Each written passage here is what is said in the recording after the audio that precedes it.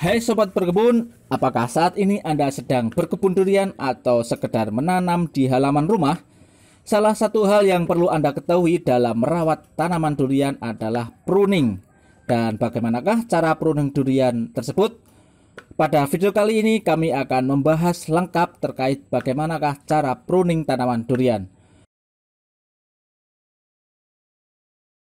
Untuk pohon durian sendiri memang tajuknya meruncing Karakter dahan bisa dibilang mengejar matahari karena pohon durian membutuhkan banyak cahaya matahari dan membutuhkan sirkulasi udara yang lebih luas. Program pruning atau pemangkasan dahan dan ranting seperti yang kita lakukan pada tanaman memang bertujuan untuk memaksimalkan tanaman saat berbuah. Untuk pemangkasan pada tanaman durian ini metodenya berbeda dengan tanaman-tanaman lain.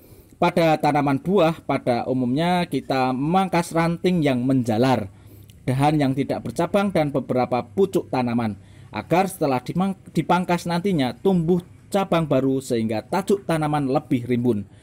Semakin rimbun dan banyak cabang tentunya berpeluang menghasilkan banyak buah. Hal ini tidak berlaku pada tanaman durian.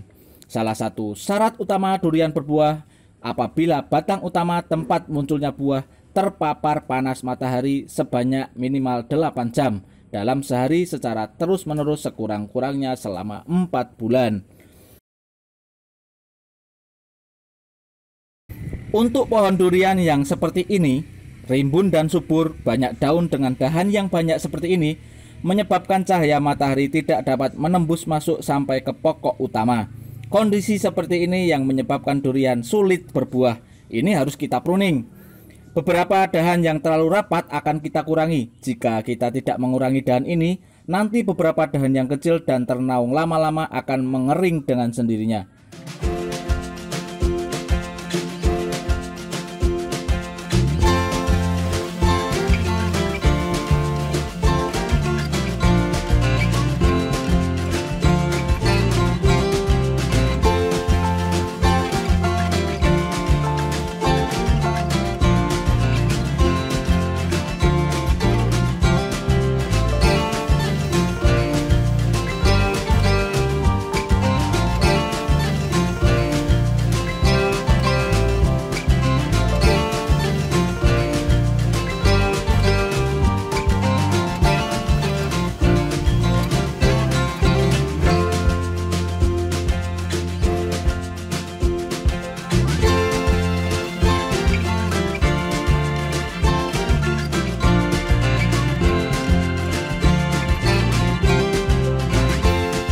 Lubang-lubang seperti ini bekas dahan yang mengering, patah dan jatuh dengan sendirinya.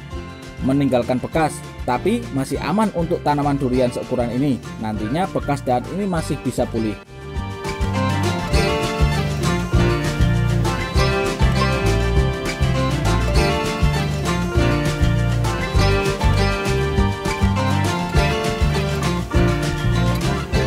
Seperti ini, dan ini layu dan kering.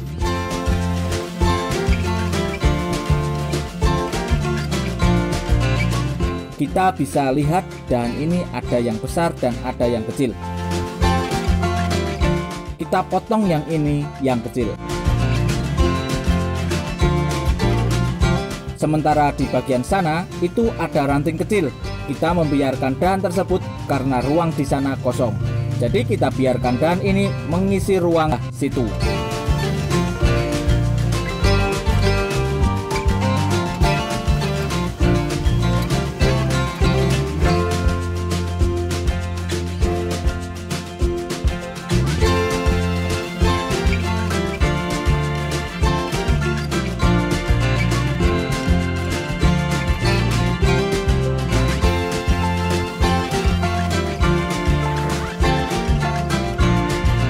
yang kita potong lagi yang sebelah sini. Meskipun dahannya agak besar tapi dua, dua dahan ini e, beda dengan yang ini. Terlalu dekat dan berhimpitan. Bisa kita lihat ranting-ranting yang di bagian ujung saling berebut ruang. Untuk memotong dahan yang sudah terlanjur besar kita beri jarak sekitar 20-25 cm pemangkasan jarang, jangan terlalu dekat dengan batang pokok kita sisakan 25 cm ini supaya sisa ini keringnya berlahan dan meminimalkan bekas biar tidak menjadi lubang. Setelah kita kurangi beberapa dahan, dari bawah sini sampai atas beberapa sudah kita potong. Percabangan terlihat longgar, tujuannya agar panas matahari dapat masuk sampai ke pokok batang utama. Panas matahari dan udara panas yang masuk ke dalam sini ini yang dapat merangsang pembelahan sel kulit batang dan mempermudah calon bunga keluar. Jika belum waktunya berbunga yang keluar berupa tunas-tunas air, itu juga harus dibersihkan, dipotong kalau tumbuh tunas air. Pemangkasan atau pruning durian ini sebaiknya dilakukan sejak tanaman masih kecil, dilakukan secara rutin setiap tahun. Sejak pohon masih seukuran ini, ini usianya kurang dari tiga tahun. Kita lakukan penjarangan dahan, pangkas yang terlalu rapat dan tinggalkan yang bagus.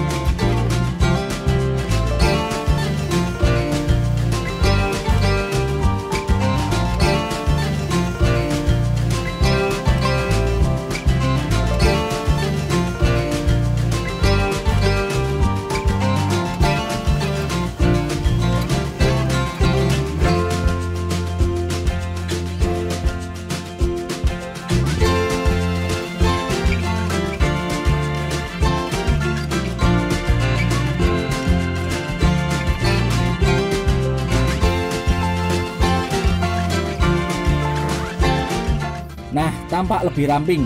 Pokok utama terlihat dengan jelas.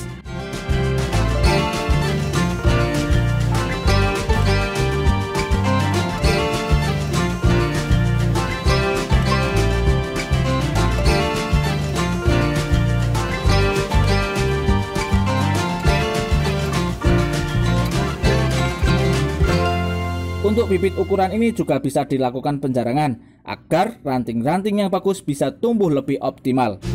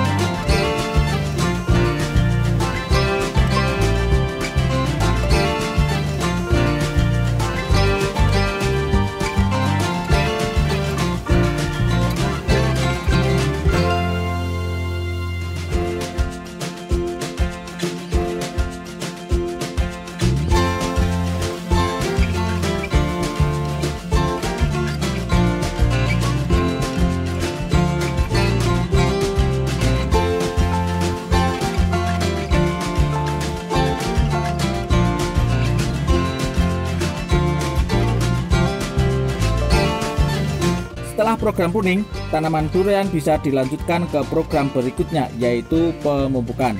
Untuk pemupukan nanti kita bahas di video selanjutnya. Demikian video tentang pruning durian. Semoga memberikan manfaat bagi kita semua. Jika menurut Anda video kami bermanfaat, silahkan klik like dan jangan paksakan Anda untuk like jika menurut Anda video kami kurang bermanfaat. Silahkan subscribe channel kami. Sekian, mari berkebun dan terima kasih.